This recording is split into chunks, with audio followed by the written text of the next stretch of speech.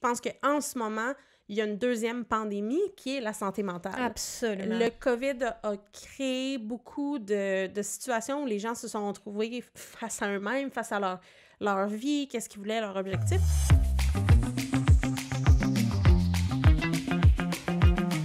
Hey, coucou tout le monde! Allô? Coucou, en tout cas. Coucou! On essaie, on essaie de trouver des nouvelles façons de dire bonjour finalement. À. À cacou tout le monde! K-E-K-O-U. Oui, Oui. K-E-K-O-U. C'est ça. Ben bonjour, euh, merci d'être à l'écoute euh, ou à, à la- au visionnement, on le sait pas, euh, dans vos oreilles, dans vos yeux. c'est un peu violent comme terme, mais nous sommes là et heureuses de l'être. Bienvenue au podcast La cerise sur la SP Yeah! avec la fabuleuse et fantastique Ellie. Et Élise. C'est beau, hein? Ouais, on a des noms presque pareils. C'est Ah. fantastique. Hey, je commence tout de suite, je me lance avec ce qu'on boit. Oui. Alors, euh, aujourd'hui, nous avons une eau pétillante San Pellegrino Pompelmo. C'est probablement le plus classique, right? Des euh, San Pellegrino, là. Au pamplemousse. Donc, euh, vraiment léger, un petit peu sucré. On l'a euh, même coupé avec de l'eau pétillante. Ouais, un- Parce que c'est quand même sucré. Moi, Ouais. j'ai bu ça enceinte, là. Sans, Ah. À côté, là. C'était vraiment côté. mon, mon drink de choix. Fait que voilà, le lien sera dans, dans nos, euh, notre description de l'épisode. Bon vieux classique, si vous avez jamais goûté Bon à ça. vieux classique. Je vais le déposer loin pour pas qu'on l'accroche. Oui, parce qu'il y en reste. Oui, et aujourd'hui, on vous présente notre tout premier Q&A. Donc, euh, FAQ. oui ou euh, QNR. Mhm. Question-réponse. Exactement. Donc, euh, au cours des derniers épisodes, on vous, on vous a demandé est-ce que vous avez des questions pour Au final, juste un épisode. C'est ça que là, je me rends compte, on aurait peut-être dû le Ah faire ouais? plus. Ouais, ouais, ben on va le faire plus. Mais là, on le fait là, là. Genre, c'est un. Q&A, on en profite. Si vous avez d'autres questions, mettez-les ici euh, en commentaire sur YouTube. Absolument. Euh, Tu sais, tout le monde a des histoires différentes. C'est vraiment le fun de voir les commentaires là, sur YouTube qui commencent à, à popper de plus en plus. C'est le fun de, de savoir qu'il y, a des- qu'il y a des personnes qui sont à l'écoute, qui nous supportent, et puis que ça leur fait du bien parce que c'est vraiment ça notre objectif premier. C'est pour Absolument. ça qu'Élie et moi, on le fait. mhm. Donc, c'est vraiment le fun. Euh, on est là pour vous. Et justement, questions-réponses, on a reçu quelques questions. On va en parler aujourd'hui. Oui, on n'en a pas 20, puis c'est correct parce qu'on va les développer quand même. On en a 4 et Oui. euh, assez, euh, comme je dis, assez large avec plusieurs euh, étapes de questions. Fait que je pense qu'on... on- Ça, ça durera pas juste 4 minutes, c'est ça que j'essaie de vous dire. C'est ça. On va, on va se lancer une question à la fois. On Ouais. va répondre chacun de notre bord. Puis encore une fois, si vous avez d'autres questions, si vous voulez plus de détails, euh, Ouais. donnez-nous des, des nouvelles. Puis vous de pouvez même euh, commenter sous n'importe quelle vidéo. Absolument. Euh, ce qu'on fait, c'est qu'on note les questions au fur et à mesure qu'on en reçoit. Puis normalement, comme je réponds, puis je dis merci, votre réponse sera dans un prochain Q&A. Exact. Vous n'avez pas besoin de commenter à quelque part en particulier. On les note, on vous oublie pas, puis on va vous répondre, c'est sûr. Absolument. Puis ben, moi, je réponds, mais un peu en retard. Oui, Euh, mais c'est ça. Euh, elle, elle les regarde Je- les lit tous quand même. je vous lis. Oui, exact. Fait commençons. Lançons-nous. Oui, euh, j'ai noté vraiment les questions telles qui m'avaient été posées, fait que ça se peut que ce soit un peu drôlement formulé, mais je vais faire ça de façon à ce que ce soit compréhensible.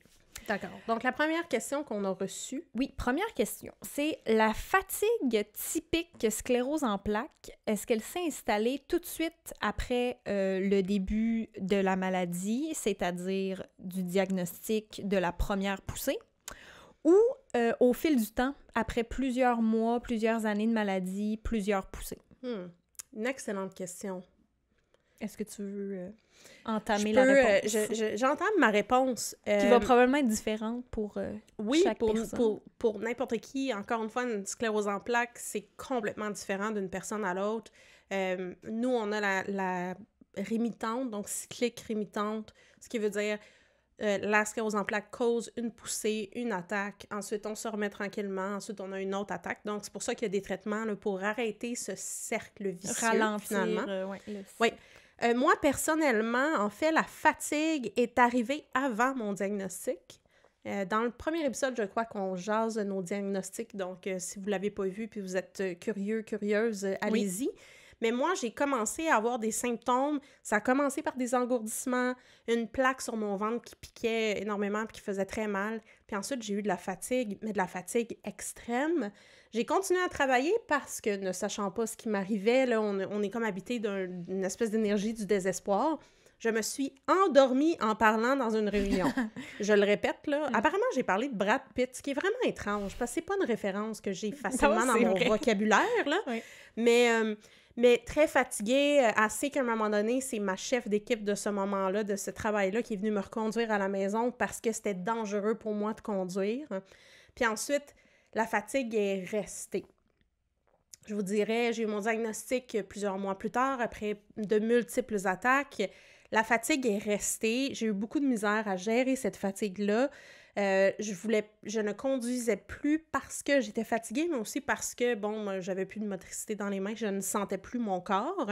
Fait que je trouvais ça trop dangereux. Mhm. Mais, euh, tu sais, une activité, une chose causait beaucoup de fatigue et tout ça. Et en fait, ça, même si j'ai beaucoup récupéré, la fatigue est restée. Jusqu'à temps que je commence le protocole de Walls, qui est un protocole de nutrition. En gros, on le répète, pas de gluten, pas de produits laitiers. Ça, c'est l'étape où je suis moi. Et j'ai commencé ça d'une journée à l'autre. Euh, ça m'a pris des mois de contemplation. Je suis venue voir d'ailleurs Ellie et Raph, eux qui faisaient le plan, puis c'est Ellie qui m'en a parlé. Euh, donc, je leur posais des questions sur leur quotidien, comment est-ce qu'ils vivent ça. Ils m'ont donné des trucs, c'était vraiment fantastique. J'ai commencé le plan et une semaine après, j'avais retrouvé 95% de mon énergie. Puis, c'est une semaine après avoir coupé le gluten, euh, les produits laitiers, du jour au lendemain. Puis, euh, en fait, je me disais au début, c'était un effet placebo. Ça se pouvait pas que ça soit là et c'est resté. Évidemment, j'ai des mauvaises journées. Il y a certaines journées où est-ce que je vais pas bien. Il y a certaines journées où est-ce que je ne gère pas du tout mes billes d'énergie. Et donc, je fais face aux conséquences. Mais pour moi, la fatigue, n'est plus un symptôme qui est euh, envahissant. Ouais, envahissant, encombrant. C'est pas quelque chose que je vis au jour le jour. Euh, c'est plus majeur, peut-être, dans ta... Ce n'est plus le symptôme dominant de la sclérose en plaques. Je vis encore de la, de la fatigue de sclérose en plaques. Donc, je répète depuis mes premières poussées, finalement. Mais avec la nutrition, ça a vraiment changé. Imagine, genre, de voir quand tu vas intégrer les neuf tasses de qu'est-ce que ça va faire. Oui, je pense que... C'est vraiment... C'est cool parce que, justement, on peut, comme, tester, c'est comme le petit rat de laboratoire Oui, effectivement. Puis je vous dirais, juste, je sais qu'on parle tout le temps, à chaque fois qu'on commence la nutrition, on embarque là-dedans, mais c'est parce qu'on est vraiment euh, C'est notre religion. oui, oui, je pense que, tu sais, spirituellement, euh, ça, ça résonne. Mais... Euh, sais, je m'étais dit, parce que j'ai lu le livre de Walls deux fois avant mhm. de commencer le protocole, puis elle parlait de, de, ce qui pouvait se passer comme effet positif, finalement, de cette nutrition-là. Et moi, je ne la croyais pas. Mm. Puis je me disais, hey, si on m'enlève 10 admettons 10% de mes engourdissements, ou 10% de ma douleur, ou 10% de ma fatigue, ça va valoir la peine. Et là, me voilà avec... Euh, c'est vraiment... Côté engourdissement, côté douleur, là, il y a moins d'impact en ce moment. Mais on s'entend, le, le wow, c'est beaucoup les fruits et les légumes. Fait qu'il me manque comme la, la, plus grande étape, finalement, là. Mais la fatigue, c'est miraculeux. Puis parenthèse, je sais qu'on l'a déjà mentionné, mais en ce moment, Walls a eu un gros financement de mm-hmm. la la Société contre euh, la sclérose en plaques là, du côté des États-Unis.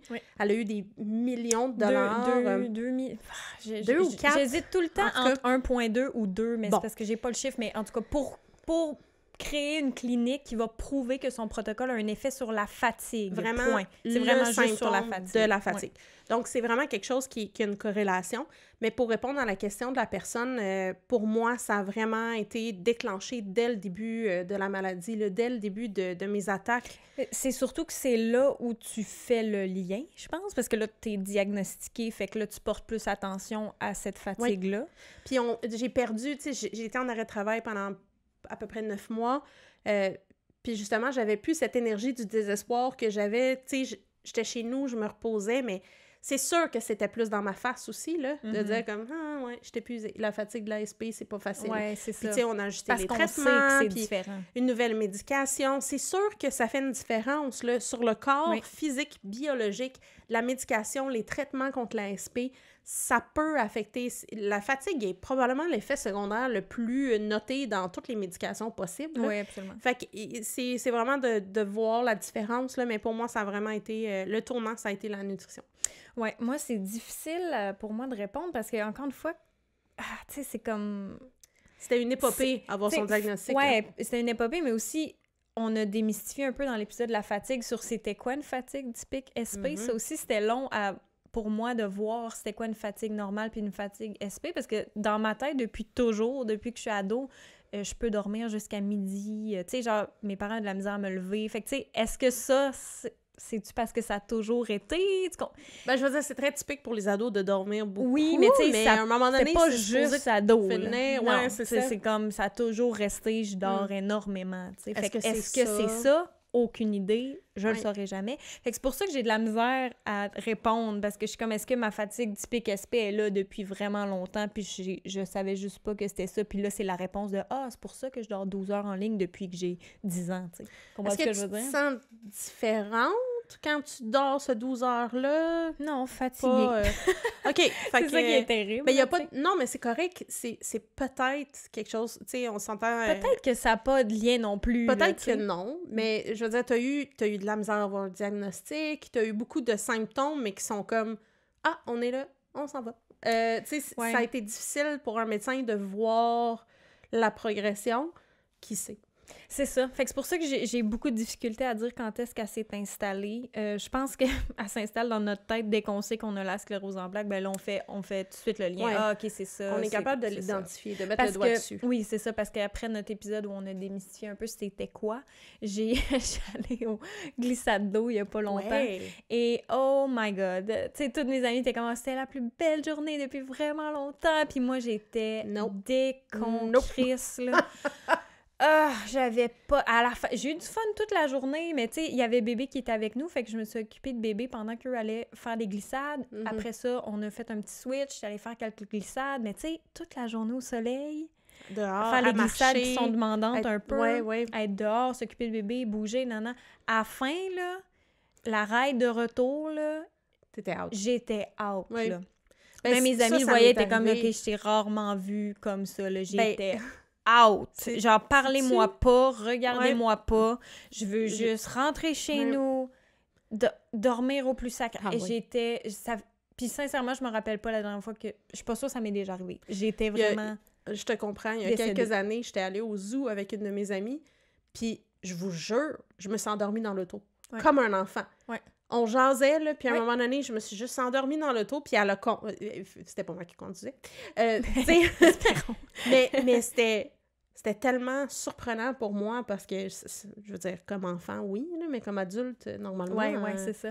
on jase. Puis... En tout cas, mais C'est oui, ça. Fait que, tu sais, je j'imagine... que c'est flou. Ouais, c'est pour moi c'est vraiment flou parce que je me dis j'ai beau dire ah oui, ça s'est installé tout de suite quand j'ai eu mon diagnostic, mais je me vois pas m'endormir comme toi tout d'un coup dans le char ou Mhm. m'endormir en parlant ou whatever. Mm. Fait que je suis comme est-ce qu'elle s'est C'est installée? Est-ce que j'en est-ce que j'en ai une qui est là tout? Je Ouais. comprends-tu? Fait que je suis comme est-ce que ça va être plus tard plus que là je vais réaliser comme ah OK, c'est ça, genre tu sais je, je le sais pas. c'est je pense que la fatigue c'est le le dénominateur Commun, oui. commun merci Oui. je l'ai eu j'étais j'étais- en tout cas j'étais pas confiante Euh, de, de toutes les scléroses en plaques, je pense que la plupart des gens qui ont une sclérose en plaques comme diagnostic ressentent de la fatigue. Là, après ça, tous les autres symptômes, c'est comme je pense un que à la ce carte. la deuxième portion de la question, là, Oui. si ça s'installe après plusieurs mois, plusieurs années, plusieurs poussées, j'ai un doute là-dessus. Je sais pas. Moi, c'est drôle. On n'est pas médecin encore une Non, fois. non, non. Euh, Ça, c'est une opinion personnelle.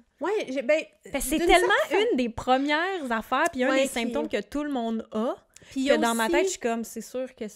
Oui, euh, Soit ça a toujours été là, ou c'est arrivé tout de suite. Oui, j'ai tendance à être d'accord avec toi pour un autre point, un autre angle de vue. C'est que c'est tellement prenant qu'on apprend à la gérer un peu mieux Oui. au, fur, au fur et à mesure. Tu sais, euh, il est très possible que j'aille une poussée demain, aujourd'hui, dans six mois, mais j'ai l'impression que si, admettons, j'ai encore beaucoup de fatigue, ben probablement que ça me ça me botterait le derrière. Pas que je veux une poussée, Non. mais tu sais, probablement que je ferais comme, OK, là, il est temps de passer aux 9 tasses de légumes Oui. et de fruits, je vais me botter le derrière, ou euh, ouais. je vais me reposer plus, ou tu sais, on est capable peut-être plus avec le temps de gérer. Puis ça, ça vient d'une personne qui est pas capable de gérer son... qui a bien de la misère à gérer son énergie, mais, mais je pense qu'on on reconnaît plus, on est peut-être un petit peu plus au courant. Oui, c'est sûr. C'est sûr. Oui. Mais j'ai tendance à dire que, tu sais, je vous dis pas que c'est une fatigue accablante pour tout le monde, là. Mais, Mais la fatigue, normalement, est présente. ouais, euh, normalement, là, je pense. C'est Mais pas encore une fois, commun. pas médecin, mais c'est Ouais. notre opinion. Ben, laissez-nous savoir, euh, vous, la fatigue, euh, si vous avez la SP ou si vous voyez des gens dans Ouais, votre si quelqu'un a entourage. euh, a eu l'impression que la fatigue est arrivée vraiment plus tard après le diagnostic, Ou après pas du plusieurs tout. poussées, ou pas du tout, ouais, c'est ça, vous ça se pourrait aussi, tu sais. Ben, merci Fait que, pour oui, euh, la Merci question. pour cette question. Oui. J'aurais dû écrire qui a posé les questions. Je viens juste de penser, puis euh, je m'excuse, j'ai pas noté euh, les noms de tous. La prochaine fois, je le ferai. Euh, deuxième question. Yes. Quand vous voyagez, la fatigue, le décalage horaire, changement de rythme, de nourriture, etc., est-ce que ça a un impact sur vos symptômes et comment vous gérez? Intéressant. La, la réponse facile, ça va être on vient tout juste de faire un épisode sur euh, comment voyager avec une sclérose en plaques. Donc, il y a beaucoup de des réponses qui sont dans cet épisode-là. Yes. Mais peut-être qu'on peut. Ben, la version courte, La je version pense, courte, ouais.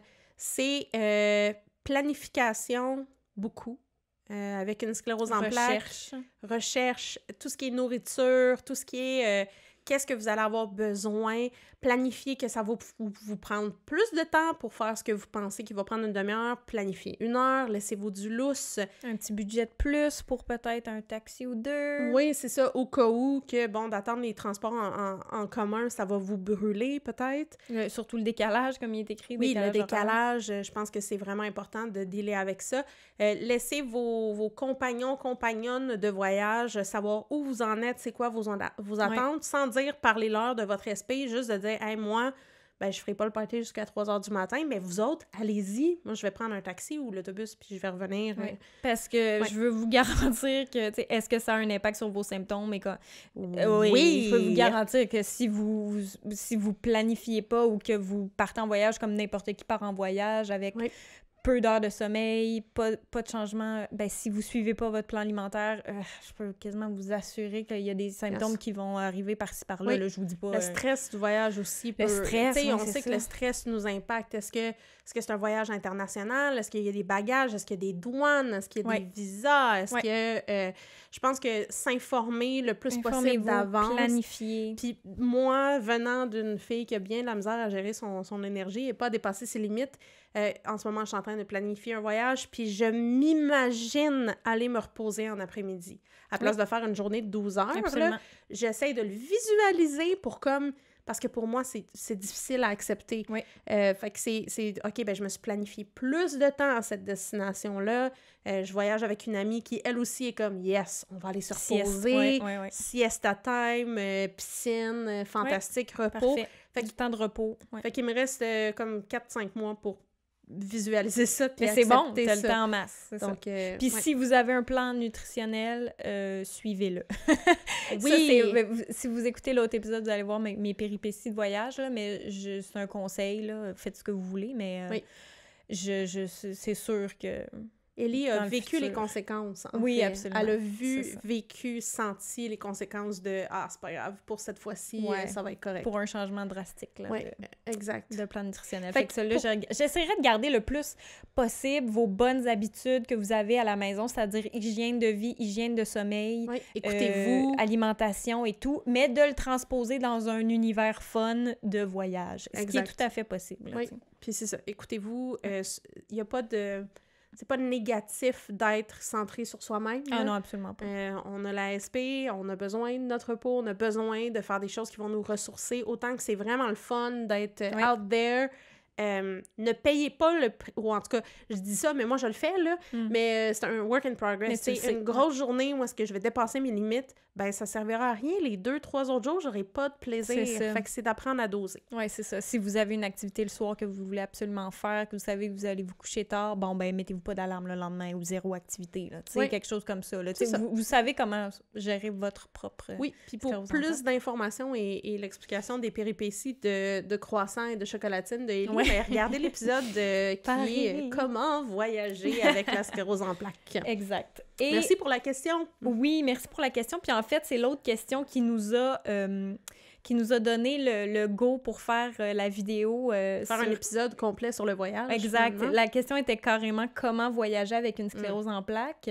Euh, tu sais, faire une poussée juste avant ou pendant le voyage, avoir des gros coups de fatigue, Oui. etc. Et la personne suggérait carrément peut-être que ça vaut la peine de faire un épisode complet là-dessus. Et on a pris cette information-là. Puis tu sais, je veux dire, je veux juste répéter que on ne peut jamais savoir quand est-ce qu'on va, on va avoir une poussée. Oui. C'est pas quelque chose qui est prévisible tant par votre neuro que, que vous-même. Puis même si vous avez un bunch de symptômes qui vous arrivent en voyage ou avant votre voyage, de stress ou quoi que ce soit, ça veut pas dire que c'est une poussée. C'est pas nécessaire. Normalement, euh, il faut que ces symptômes-là restent pendant un bon bout de temps, plus Ouais. que 24 heures. plus, que qu'une- 24, plus que 48 Puis, tu sais, évidemment, euh, évidemment, ça peut arriver, là. Je peux, je suis pas là, je peux, je- on le sait pas, personne le sait. Mais, euh, tu sais, de, de vous occuper de vous-même, c'est vraiment important. Oui, absolument. Fait que on répond à 100% à cette Oui, question-là. c'est ça, le- dans l'autre épisode, fait que je répéterai pas, mais on a plein de conseils euh, autres. Oui, absolument. Euh, la dernière question. Oui. Depuis que je... Puis là, je vais citer la question, parce que je l'ai vraiment écrit en guillemets. Depuis que je ne travaille plus, j'ai peur de reprendre le travail quand je vois que les tâches quotidiennes comme le ménage ou simplement me faire à manger correctement me prennent déjà toute mon énergie. Comment cela se passe pour vous? Hmm. Combat d'une vie, on dirait une grosse question. Grosse question. Moi, ça, ça touche beaucoup de cordes sensibles. Oui. Toing, de toing, toing. Oui. Voici le son. Comme- Oui, c'est le son des cordes comme sensibles. ton quotidien en ce moment un peu. Oui, mon quotidien en ce moment plus difficile, euh, problème de santé mentale avec le COVID, l'isolement et tout. Et euh, c'est vraiment difficile de gérer l'énergie. Et Encore une fois, c'est une thématique qui, qui revient pour moi personnellement. Oui. Puis ce que je dirais, c'est... euh,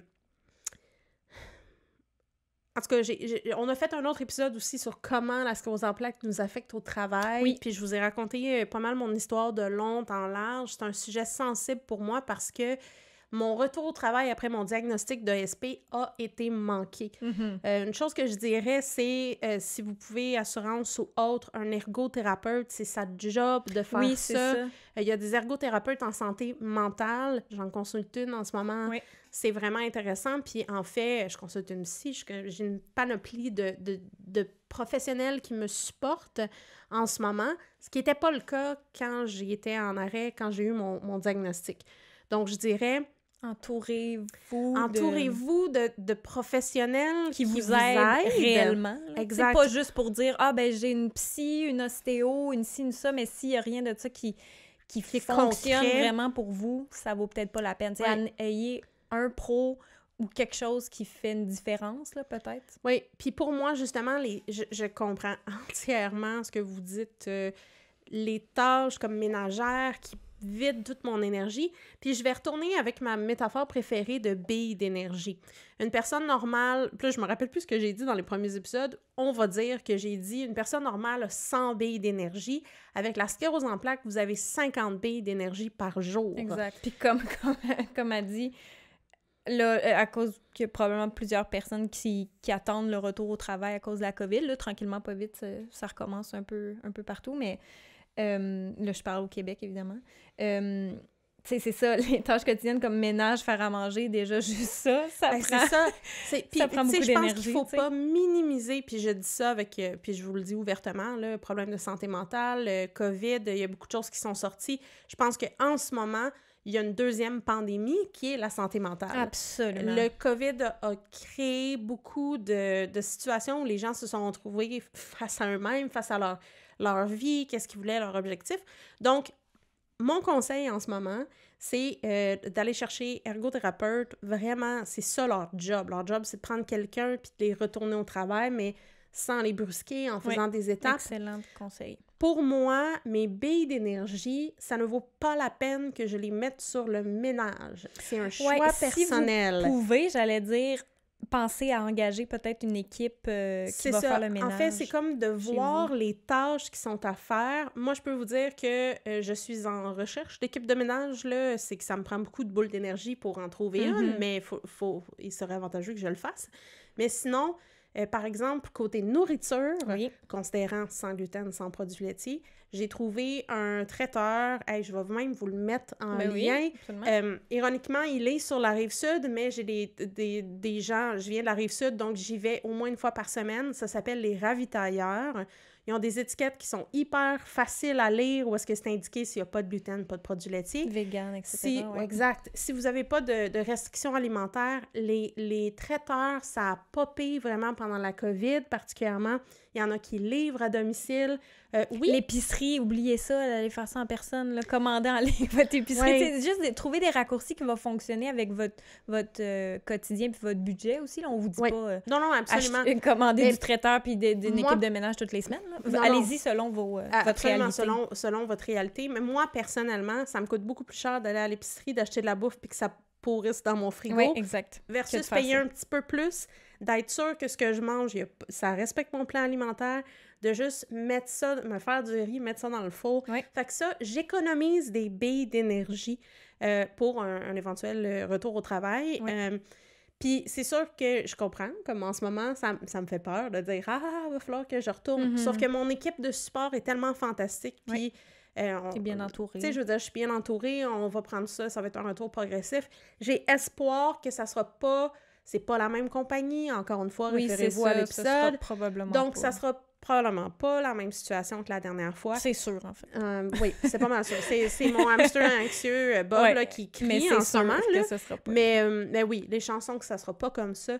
Donc, vraiment, là, pense, pensez à vos billes d'énergie, puis décidez Où est-ce si que la vaisselle n'est pas faite, ou si la, la balayeuse n'est pas passée, s'il n'y a pas de billes d'énergie... Euh, il y, a une- il y a une thérapeute qui m'a montré, à la place de dire « il faut », de dire « il serait avantageux ». Mhm. Et ça, je le dis, je, je- je suis sûre que je l'ai dit pendant le podcast, là. Oui. Peut-être que, puis là, c'est ça qu'elle elle argumentait, que tout est un choix. Oui. Il y a des conséquences. Oui, mais tout est un choix. Tout est un choix. Il serait avantageux de payer nos taxes. On peut... Non, non, il, f- il faut pas payer nos Il taxes. serait Parce avantageux. il serait avantageux, parce qu'on peut se ramasser en prison. Absolument. Donc, tout ce qu'on fait dans la vie, il faut, c'est que ça, ça met un poids, ça met une obligation. euh, Puis si on le fait pas, ben on a Puis, tendance à... il faut passer la balayeuse, on s'est entendu qu'il ne faut pas passer la... C'est ça. Si vous n'avez pas l'énergie, skippez ça. Puis le problème, c'est que si on le fait pas, la balayeuse, puis que je me suis dit, ah, il faut que je passe la balayeuse, puis je l'ai pas fait, un ben, échec, je me sentirais pas bien. C'est un échec, ça. Par ouais. contre, il serait avantageux que je passe la balayeuse. Hmm, il serait plus avantageux que je me repose. Oui, exact. Parce que j'ai plus de billes d'énergie. Exact.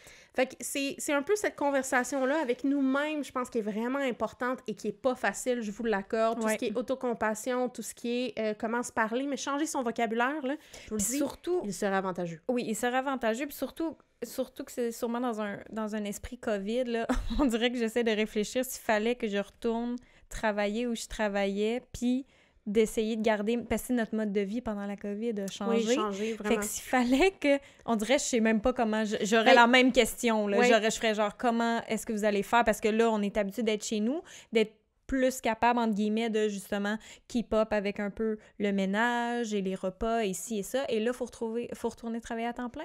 Tu moi, c'est parce que j'ai fait le switch. Là, Ouais. Je travaille de la maison maintenant. Là, Mais ce qui est intéressant, c'est que toi et moi, on a deux réalités complètement différentes parce que moi, d'être à la maison, c'est horrible. De Oui, travailler ça, à la maison, c'est une des raisons pourquoi ma santé mentale a Oui. crashé. Euh, versus, il y a d'autres gens qui ont trouvé que c'était une révélation, qu'ils pouvaient passer plus de temps avec leurs enfants, etc., ou faire les repas ou le ménage. Euh, moi, c'est le contraire. Moi, je Oui. me roule en boule Oui. puis je fais plus rien. Exact. Donc, euh, je pense que euh, absolument, il y a une composante COVID qui est peut-être pas le cas de la personne qui Peut-être pas, peut-être pas. mais qui peut s'appliquer à plein de monde. Oui. Fait qu'encore une fois, je pense que pour moi, là, la gestion des billes d'énergie Ouais, ouais. est primordiale. Puis un, un ou une ergothérapeute peut vous aider là-dedans. Quelqu'un en santé mentale, par, par, par exemple, ou même... euh, parce que normalement, c'est santé mentale ou santé physique, là. Ouais. Mais euh, c'est vraiment... Tu sais, en ce moment, je travaille avec une ergothérapeute à planifier des activités dans mes journées pour pas trop dépasser. Je la vois demain, elle sera pas contente parce que j'ai dépassé. Hmm. Ben, c'est pas qu'elle sera pas contente. Non, non, là. quand même. Non, non, quand même. ben voilà, c'est c'est ce que je dirais à cette question, qui est excellente question, puis euh, Ouais, c'est très, très bonne c'est question. à cause du stress. Fait que, c'est comme un cercle C'est ça, vicieux, voir là. où est-ce que vous pouvez diminuer ce stress-là, justement, par euh, traiteur, par ménage, et ci et ça, et même... euh, Est-ce que est-ce qu'un retour progressif au travail Oui. est possible? Tu sais, tout ça, ça c'est dans le meilleur des mondes, là, si... euh, Exact. Puis, tu sais, on sait pas c'est quoi le contexte Non, exact. Est-ce qu'il y a des assurances? Est-ce qu'il y a euh, un employeur euh, déjà, etc. Mais euh, c'est d'essayer de trouver des gens pour être dans votre coin, d'être Oui, euh, dans, votre équipe. Voir si vous pouvez commencer euh, avec un peu moins d'heures, si ça. Retour progressif, c'est très commun. Oui. euh, Surtout, surtout maintenant, on dirait que c'est de plus en plus accepté. Il y a beaucoup de, de gens qui vont retourner travailler trois jours semaine et qui vont faire Mhm. deux jours à la maison. J'ai vu beaucoup ça. Oui. Les lundis et les vendredis sont à la maison et ils vont au bureau mardi, mercredi, jeudi. on est vraiment dans une T'sais. période de, de changement par rapport à la vie au c'est travail. discutable aussi, j'imagine. tu sais. Tu sais, j'imagine que ça dépend du contexte, mais Oui, oui, oui, oui, euh, c'est ça- ça. Mais je pense, en tout cas, personnellement, là, pour un- le travail, c'est toute une différence d'avoir un, un professionnel Ouais. comme de votre bord. Puis là, je mets des guillemets, là. ouais, ouais. Évidemment, euh, cette personne-là est responsable de, de vous retourner au travail, de faire, mais sans vous brusquer, mais à un moment donné, tu sais, moi, je sais très bien que je vais retourner au travail, puis je vais être anxieuse. Mais il va falloir que je gère mon anxiété. Il va falloir. C'est avantageux que je gère mon anxiété. Mais je sais que ça sera pas je suis guérie, Non, non. magiquement, je suis fantastiquement bien, mais euh, on respecte quand même mon, mon, mon beat, finalement. Oui. Ben c'est ça, je pense que ça vaut la peine de peut-être même de mettre une réflexion in- intentionnée là-dessus, là, de s'asseoir puis de Mhm. faire OK, où est-ce que je peux diminuer cette, charge-là, donner Oui. cette charge-là à quelqu'un d'autre, voir, voir vraiment qu'est-ce qui vous Oui. stresse au fin fond, puis voyez comment vous pouvez travailler autour de Oui. cette situation-là. là. Une des choses que mon ergothérapeute m'a demandé de faire, euh, c'est à chaque fois que je faisais quelque chose, de l'écrire avec les heures. Ouais. Puis surtout dans un contexte parce qu'on n'est pas encore au travail, euh, ben, avec un- une réflexion sur la journée, on peut dire comme ah, OK, hey, j'ai passé deux heures à faire du ménage aujourd'hui. Puis ça, ça m'a vraiment. Ça m'a vraiment Brûlé pris, que- pris beaucoup d'énergie. Puis, ah, ben oui, je suis allée, j'en ai fait trop, tu sais. Euh, puis ici, j'en ai pas fait assez, je sais pas. Mais euh, ça peut être euh, pas intelligent, mais intéressant de regarder. euh, Qu'est-ce que vous faites réellement en dans la journée? C'est une idée intelligente aussi de mon Mhm. ergothérapeute, mais un peu évaluer comment est-ce que vous dépensez ces billes d'énergie-là. Évaluer le, le sommeil. Tu sais, j'ai dormi 6 heures, puis je me lève, puis j'ai 50 d'énergie. C'est ça, le sommeil est Euh, oups, vraiment important. Attends un petit peu, mais là, si je dors 8 heures, ah ben là, je me lève, puis j'ai 80% d'énergie. Puis, oups, ça, ça me... Tu sais, euh, j'écrivais aussi, est-ce que ça monte mon énergie? Est-ce que ça le descend ou c'est égal? Mhm. Euh, de voir une amie, oups, ça monte mon énergie.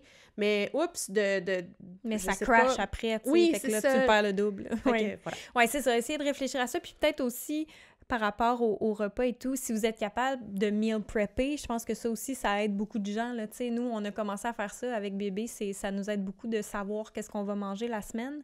Et le dimanche, on meal prep un peu de trucs, tu sais.